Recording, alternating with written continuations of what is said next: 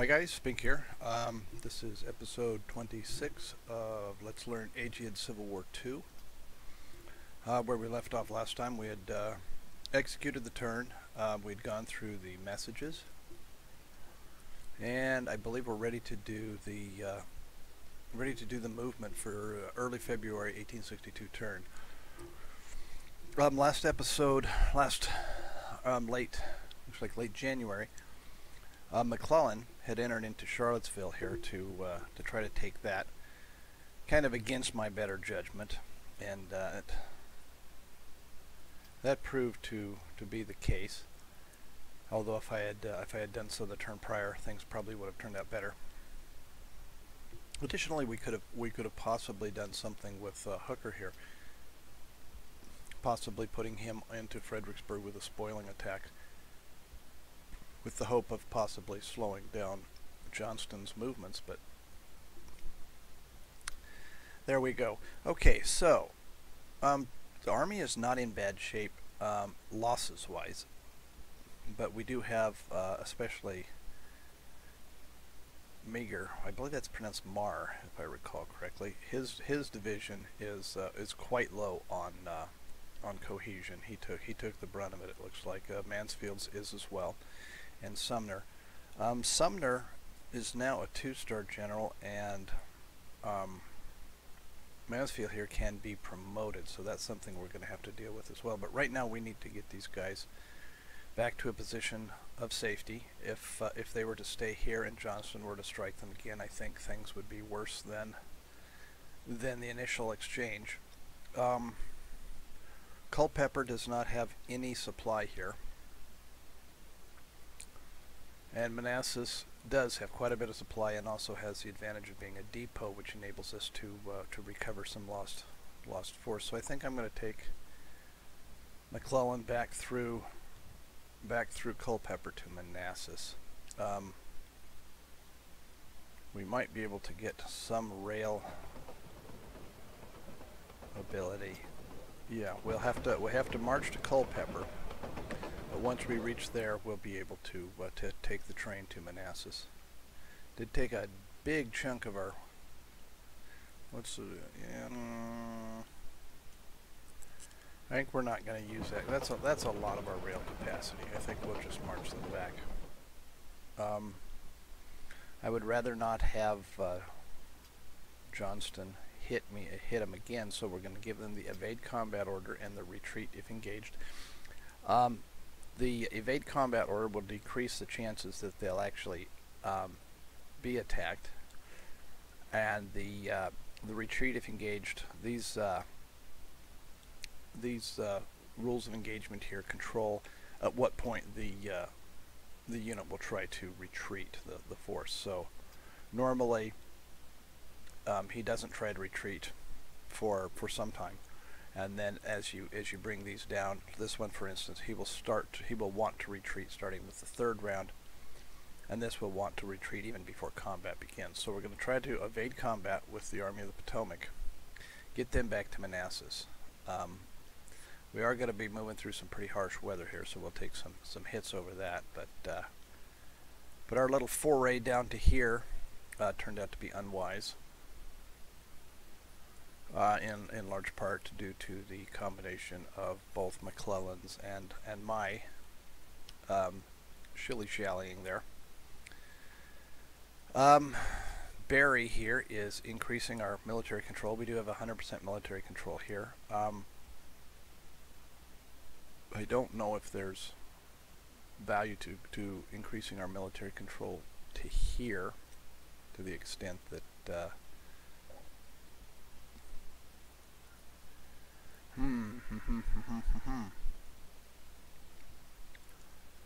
um.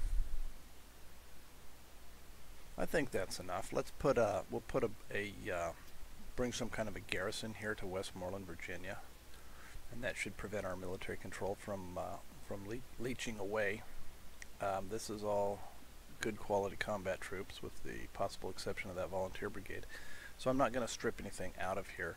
Uh, perhaps we'll send something down from Washington, um, or build, or perhaps even to build a uh, a militia unit. But I'm going to Bring Barry back here.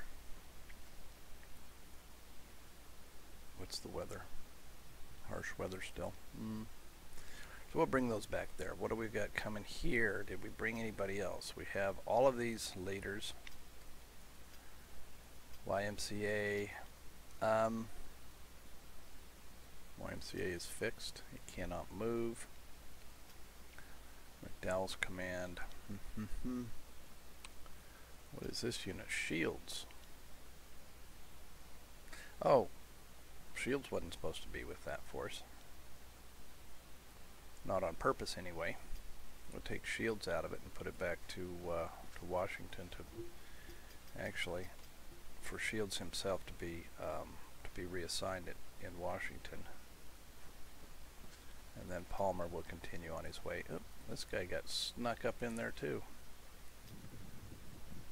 It's not what we had intended. Okay. So these guys, let's put them on rails so they'll get up here. Um, whatever was going on in Strasburg, I believe this force was up here and they've since retreated. Jackson is here. I thought Jackson was down here. I don't recall. We're gonna harsh weather. What's weird? Now we took, I believe, we hit. Um, I believe we we were hit by the uh, um, epidemics here. So so we're gonna sit tight for for a little while and and let that recover before we bring these guys down. This unit has arrived. This is just a uh, a cavalry regiment possibly improve our ability to see what's going on here. Um, I think we're going to put these on a defensive posture, retreat if engaged, and take these guys down into Strasburg to take a look here. Um, what else we got going on? Down here in Beaufort, we've now we've now captured Beaufort. Whoops, what did I do with him? Put him here. Let's put him on a defensive posture. Maybe, yeah, we've got 100% military control here. Um, this is awfully tempting to take Jasper, South Carolina here. And maybe even start thinking about going down to, what is this? Is that Charleston? Savannah. That's Savannah, Georgia down there. So this looks like a fairly, fairly uh, substantial city here as far as their uh, war production goes along. This one less so. It's still a, uh, it's still a, a port, a harbor here. Um, taking this force here, or this this uh, particular um, city, this town here, this none of these are, um, well Savannah is and Charlotte, or Charleston here is, are strategic towns. I think what we'll do, we'll take Beaufort here, Buford. Let's um, let's take Buford and divide up his his. Uh, oh, we didn't bring any artillery with us. Uh, we're going to divide up his uh, his his division and then reform it, leaving Bartlett's brigade out. So we'll be able to leave Bartlett in Beaufort just as a, a, a garrison here so that we don't have to worry about things getting too and protect our rear and we're going to move into uh, into Jasper, South Carolina. And why don't we put him well let's let's leave him on just a, a, a regular attack we'll get here. I would hate to to dive into here only to, to run headfirst into a uh, well I don't think that really even matters. So we'll just do that and see if we can take uh, what is this? The town is called Hardy's Station so so we'll take that. And let's see that will, the big thing that I reason wanted to do that is that will cut this rail line between Charleston and Savannah so if they did have any any troops here or anything they wanted to move through against us they're gonna have to take the longer road there and each, each region you move on rail is one day so so potentially this would be one two three days but now it'll be one two three four, five, six. You know, long. It'll take them longer to get around to us. Should they should they be planning something like that? The weather is clear down here, so we don't have to worry too much about that. Um, his cohesion is not awesome, but it's not, not it's not uh, something that I would consider to be a problem yet. So so we will take these two regions here. That's my plan. Okay, now I'm just going to go through with the E keys and see what we got. This guy here, I'm just going to put him on permanent sentry status since I'm not doing anything with him each turn we go by him anyway. We do have a battery here in Wisconsin that we built in Dane County. Dane County, that's where another one of my Civil War ancestors lived. He uh, was a brother of my great-great-grandmother, one of my great-great-grandmothers, and he uh, he fought with Sherman's uh, army down at the Atlanta campaign, and he was wounded in the Battle of uh, Resaca, Ricasa, I forget how that, which way it goes, and was evacuated back to, I believe, Louisville for uh, for treatment and died of disease in 1864. So, it's kind of finding all my Civil War ancestors is kind of one of my little things. There's uh, quite a few of them that I found, and uh, not a single one died in action. Uh, all that died were were from disease, except for one that was uh, was killed by Indians actually in 1864. Okay, so we've moved this uh, we've moved this artillery unit down. Here, I don't even recall if that's where he had originally been intended. But that's where I'm moving him. Do we have any force here? Kearny's force, Union detachment. So we've already got some, some artillery down here. I don't recall where that was initially headed. How we looking here in this area? We're pretty well, pretty well, doing pretty good with uh, with our artillery here. Um, as you can see, each of these brigades costs three command points apiece. So the pair of them will cost six command points, but if we take Hurlbut here and uh, make him a division commander and include these two brigades in his division, that will drop the overall cost of, of those two brigades to four, so that will help help us out just a smidge. Not significant, not a not a huge amount. Um, what do we got? Do we have enough? We've only got three detection on this region here but it does not look like there is a significant force in Bowling Green. I think what I'm going to do, uh, this force here, this cavalry force, we're going to have them re repair this railroad and then come across into into the Bowling Green region here, into Warren, Kentucky. We've got him on a on a do not engage.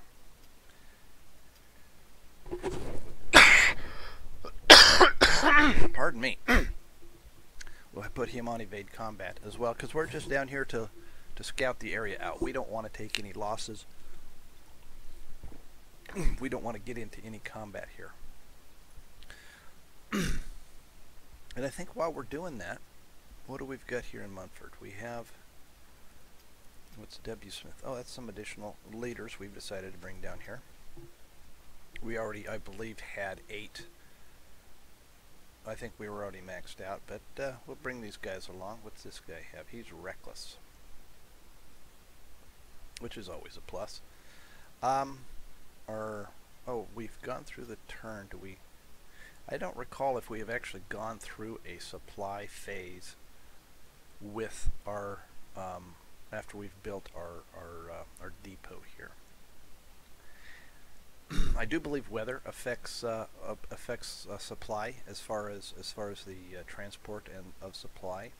I think um, blizzard really uh, really harsh weather, not the harsh weather, but blizzard, which I believe is going to be one step above that. I think even prevents the use of the rails during during um, regions where that that weather is in effect. But we appear to be in in, reason reasonably good shape. We're not at maximum supply. But we have three turns of supply here, so I think I'm going to take um, Thomas, uh, since we're kind of counting on, maybe we're going to get a bit of a jump on the uh, jump on the weather here. If I was to move these guys up here, what's our military control here is 100% and it's 57% here. Uh, bring these guys up to Barren, Kentucky, and why don't we even put these on an offensive posture on the off chance that something pops up in there, we may maybe maybe will strike them. So this puts us right between the rivers here. And we'll see what's going on here, and we might uh, take these guys into Bowling Green if uh, if it seems prudent to do so. What else do we have here? We do have this cavalry force that I've been messing with. Um, he costs three um,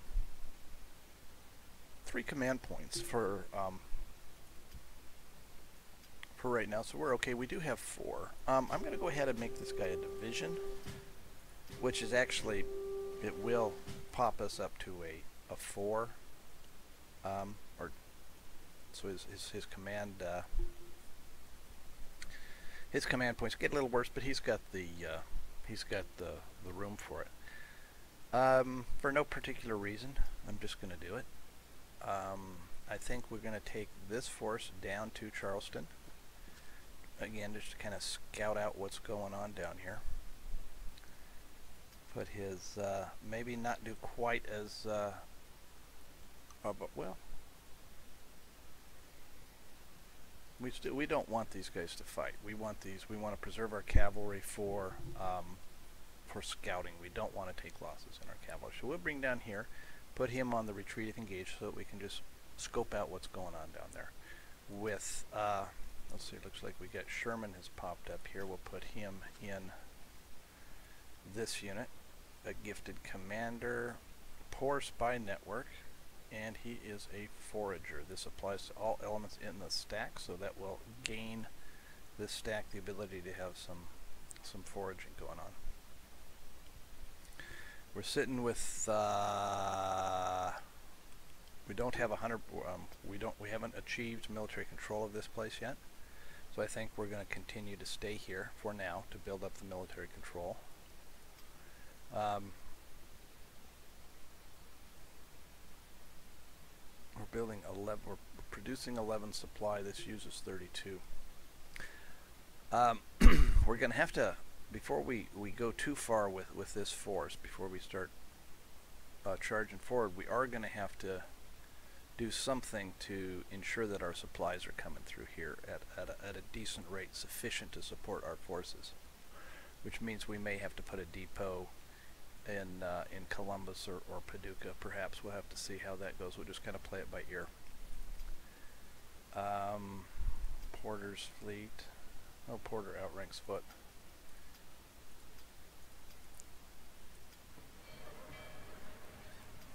Third fleet. Bring this guy. He's been built. Lioness. These are our trans or ironclads that are still being constructed, and you can you can um, gauge the the the uh, how how far along they are by their red line as they're as they're getting their their uh, building those up. So you can see these are the two we just built. This one's this one's been going for a while. So what are? We need to sit in port here through the uh, through the supply phase so that we can get some get these guys supplied up. We're starting to get a bit of a force here. We don't actually need to have both of these leaders here. What is... Oh, he's corrupt. 15% increase in supply consumption. Awesome. Um, let's see. What else we got going on here? We were going to do something. Now, the weather is still poor here. But we have moved... We've moved this division, or uh, this... The Army, the Western Command, forward. Uh, we do need to, to pay attention to what something that might be coming up through here. It's been known to happen. We do have a, a garrison there, but it's not large. Uh, in fact, I think I'm going to take the uh, the cavalry that we do have through here. The weather is clear. And I am going to bring it down possibly to take a look-see into what is in Poplar Bluff down here. If there's a, if there's any anything going on down here. Seems reasonable. And we do have this got pillage. So somebody was trying to get supply. Here we go. What do we have here? We have a, a infantry brigade that we can see here. And there's also two detachments of three units each. So he's got six units there. Seven units. So this could be a division in a you know a unit here could be a division for all we know. We really don't know. We've got to get some eyes on this. What do we've got here? Do we have cavalry in here? No, we took our cavalry out. Here they are. No, what did we do with our cavalry? I thought we had cavalry here. We had that cavalry brigade. Oh, he's down here. He's down here. Our other cavalry brigade here. Um, I think we're gonna. I think I've decided that this this weather situation. Hmm. Yeah, still not. Still just taking an awful long time to get down there. But we will. Let's put him here on an offensive posture and have him start building with the military control in this region um, so that we'll be able to start bringing supply further up here should we so desire. Okay. Out here, um, this unit really didn't take as much hits as I thought he might. So let's start thinking about what we're going to do here. I would like to combine these two units so that we can make one of them a division. What is it going to take to get here? 29 days. Oh, he's going to go around this side where it's uh, where it's clear. Now we are following the river here. We probably can do some. Uh, nope. Nope, that doesn't help us out right there. But we'll bring these guys around, meet up in Mound City, and uh, early February. This would be about early March when this when that happens. These cavalry units here now they're in. I don't want to overload my supply here. I don't know how much we got. We don't have any supply here.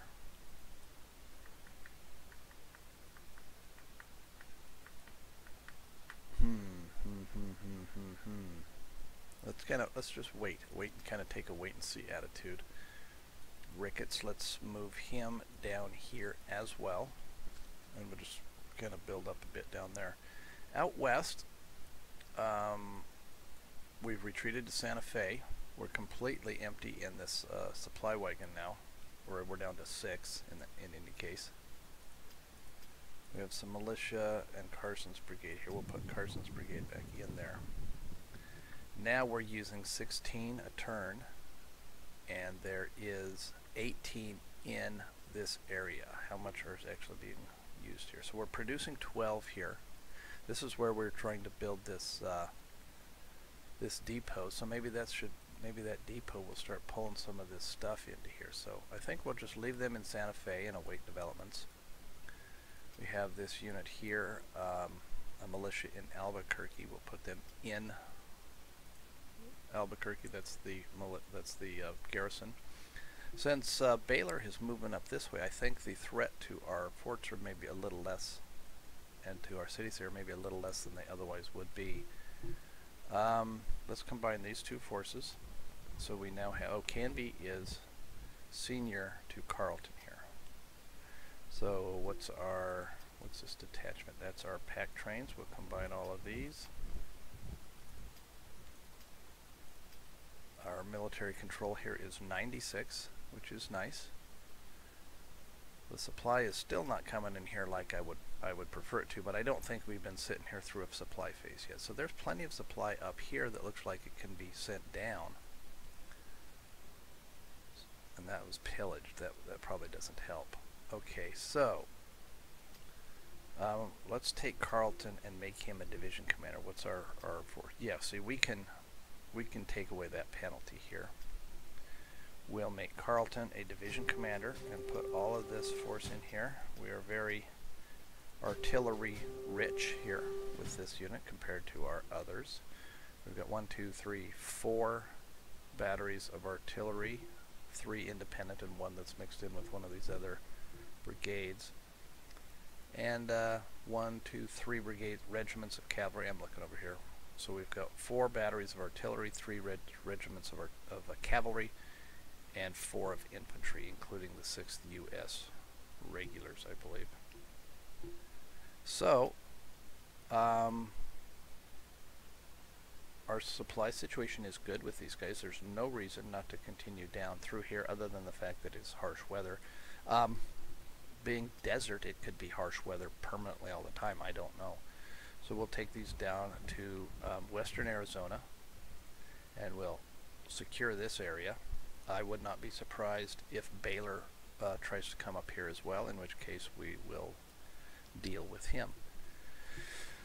Okay, so that's the that's just the main things. Let's go through our. Um, we had some artillery we're building here in Chicago. Let's take those down here. Contrabands. Milroy's force. Um, we only have the one supply wagon. This, were we going to add this in to somebody? We're not doing great as far as as far as uh, or artillery here, but I don't think it's it's a big problem. We'll we'll, we'll combine those in there. Um, now I'd like to go take Charleston, but I'm a little hesitant right now given the weather. Well, let's maybe get a jump on this guy and just let's just you know it's 1862 now. We're we're being a little more aggressive. Harsh weather though. Mm. In the mountains. You know, I'm just I'm not gonna do that. That's that's silly. I don't know if whatever losses we would take would be significant in game terms, but I just I just don't want to do that. I don't think that's realistic.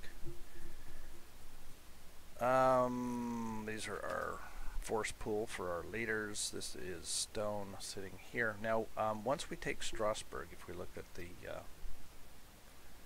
if we look at the, the, supply or the terrain map here, um, once Bank takes Strasburg here, um, this blocking force here is no longer going to be needed, so then we'll be able to, to either uh, reassign him somewhere else or put him or put him somewhere else. Although since we're falling back to Manassas, he definitely needs to stay here. Okay. Um, next. Lyon. I really want Lyon to get going here, but but again, you know, with the weather, it's just not it's just not really Western. I'm not even on the Lyon stack. I don't even know what I was on.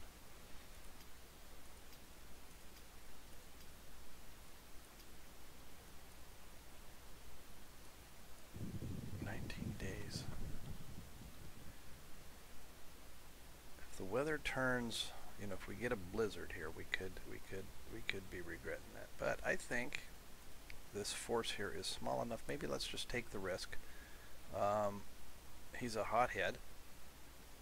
So let's let's just give it a shot. He's, he's going to do that. His supply is not. What does he get? About four turns of supply here. We'll give that a shot.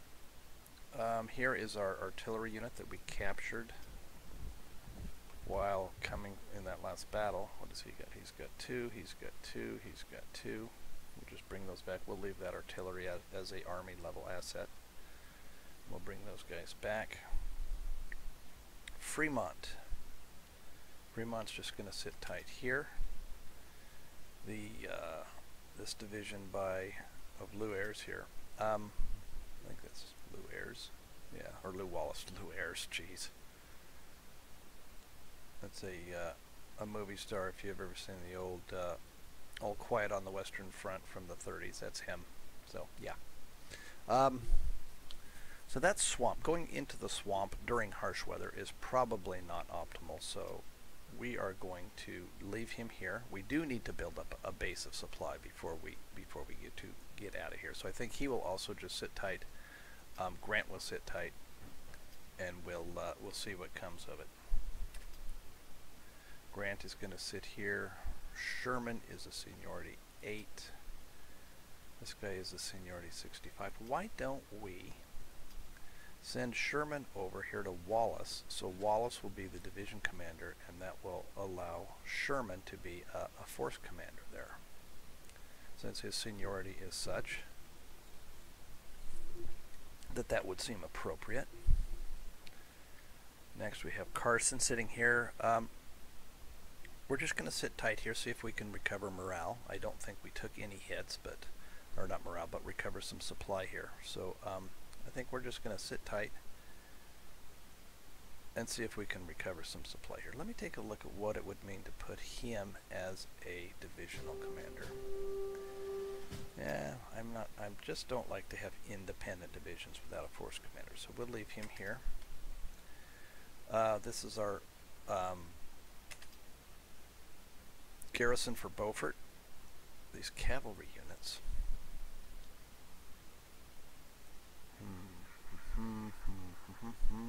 Let's take these. Let's just be crazy. It's it's a crazy turn. We're going nuts here, and we're gonna we're gonna bring these guys out to kind of get some eyes on uh, on Fort Scott here and see what's going on. We do have four detection here. We'll do that. Um, actually, let's not just going to burn up their supply. So um, by the time the weather gets better and we can do something with them, they'll need to be heading back to get supplies, so let's not do that. That's silly.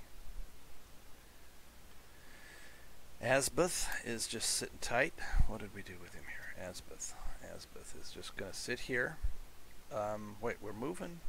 Did we decide to move him? Oh, we're moving him down, so we're going to combine these guys up. So, so we'll do that. Maybe we'll take this uh, this Kansas cavalry unit and bring him down here to get a, get a better handle on what's going on. I think we're doing pretty good now, but we'll get that up to a 5 and see what's going on. Or maybe maybe that's the wrong way, because we do already have a good idea of what's there. What if we took these to Fort Smith with our retreat if engaged and, and get an idea of what's going on in there? Perhaps we'll do that. Okay. Excuse me, Grant, Milroy, Cavalry, Hooker, Hooker, Hooker, Hooker. Now, that's a thought. That is a thought. Do we want to try for a cross? Is this a strategic town? It is not a strategic town. But it has a depot. It has a depot here. And uh, it's a it's a good sized town. It's three in Fredericksburg. What do we got here? We have a Fredericksburg militia unit. Now since we are in the same region as Johnston here, I doubt he's going to immediately railroad his way back to Fredericksburg. What if we sent Hooker, giving up our four entrenchments to do so, if we sent him across the river here and maybe put him on, on a less of a, whoops, on an attack, a less sustained attack on the off chance that, that uh, somebody gets back in here, we don't want to we don't want to push it too hard. Is that a, is that a, something we might do? And on the same note, you know, here while we're thinking about this, what if what if we did a similar action with uh, with Barry here? What if we just brought him? What if we just brought him across here? And that gives us a couple divisions threatening Richmond right here possibly bringing the uh, bringing our line up to this river here, opening this this other little peninsula up for being occupied. He doesn't have a a uh, supply wagon, supply train with him, so that is a a risk, certainly. I think I've gone past I've gone past half an hour, so I probably ought to pick up the pace a bit here. We'll look at our naval forces here. These guys are going to stay and become, uh, get them resupplied. Same with the transports will just sit there. The monitor has arrived here. Um, what are we going to do with the monitor? Well, at the very least, we can we can uh, let's put the monitor in with the second fleet. Or if I did that, I don't know if I did that. Let's put all of this into second fleet and then take Worden and put him in charge of the fourth fleet. So now each of these fleets has a leader in them. We do have, we're both sitting out in Hampton Roads currently. Supply looks decent, cohesion looks decent. I think we need to, to be careful if we decide to move this force along the coast. I think that these uh, these ironclads are vulnerable to uh, to bad weather when they're offshore. I mean that's how that's how the monitor was actually lost. But we'll do that. We'll do that. We've got the transports there. This situation looks good. Our supply is is good. And what we're gonna my thought with this with this transport when their supply gets down. Um, he's currently got 26 supply in this uh, in this in this force and and quite a bit of ammo as it goes down, we'll just swap these transports out back and forth with some other with some other unit, and that's kind of my thought on what what we'll do with those. Now this guy here, this is what I was thinking about maybe adding more force to, so that we can possibly deal with. We've got Raphael Semmes here and quite a bit of ships, so why don't we go back to actually go back to here. Let's take a look at our various units here. Now, what do we want to look at in terms of in terms of uh, being a good um, a good force to to, uh, to to intercept those units? I think we want to look at our patrol value and our detect C value. So let's take a look between some of these different units. That has a patrol value of 8, the, uh, the frigates, and a detect of 4, the steam frigates, have a 9 and the scouting squadrons are a 6. So that would indicate that possibly these uh, these steam frigates would be what we would possibly want to use. How about this armored frigate here? Is that what this is? An armored frigate, a heavy warship. And I think that would be wasted out in the uh, out in the shipping lane. So let's take one of these, stick him over in Dahlgren's here. And then let's just grab two more of these. We'll take the Niagara and the Colorado. Just these two.